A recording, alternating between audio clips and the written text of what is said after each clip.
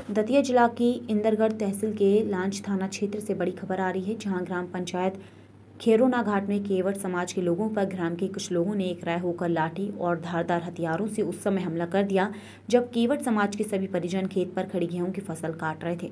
Police ने बताया कि हमले में घायल हुए केवट समाज के पीड़ित महिला पुरुष मंगलवार को देर शाम अपने खेत में गेहूँ की फ़सल की कटाई कर रहे थे, तभी गाँव की पंडित समाज के लखन व्यास गोटीराम तिवारी, सुमित तिवारी, संदीप तिवारी ने एक राय होकर पूरी प्लानिंग के साथ खेत पर गेहूँ की फ़सल काट रहे।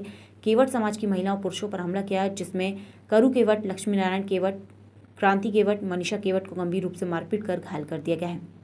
पीड़ित परिजनों का कहना है कि हमलावर दबंग किस्म के हैं। इनके विरुद्ध अनेक अपराध लांच थाने में दर्ज हैं। इन सभी के द्वारा पहले भी हम गरीब लोगों के साथ मारपीट की घटनाएँ की हुई हैं, लेकिन हमारी फरियाद नहीं सुनी गई और न्याय नहीं मिला।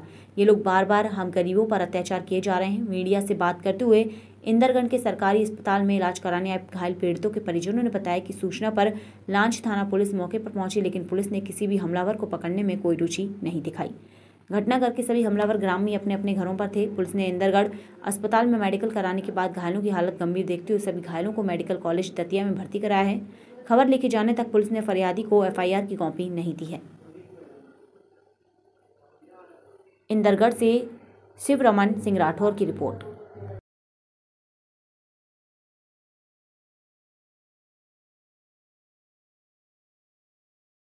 कहा नाम है माता जी आपको। कहा बात हो गई?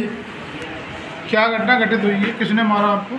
जो नहीं जानती है गाँव भाई? किसी ने काट रहा है किसी ने लगता था ऐसा डंडा मारो और मैं खजूर का ले गया है।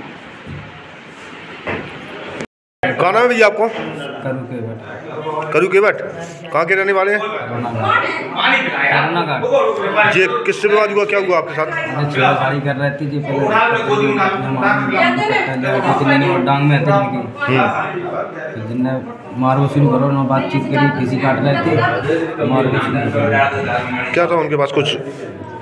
लट्टियाँ थी वो भी अभी पता नहीं है मारे भी से मुड़ में आए थे आया पता नहीं है कौन कौन थी आपको नाम मालूम उनके? संदीप और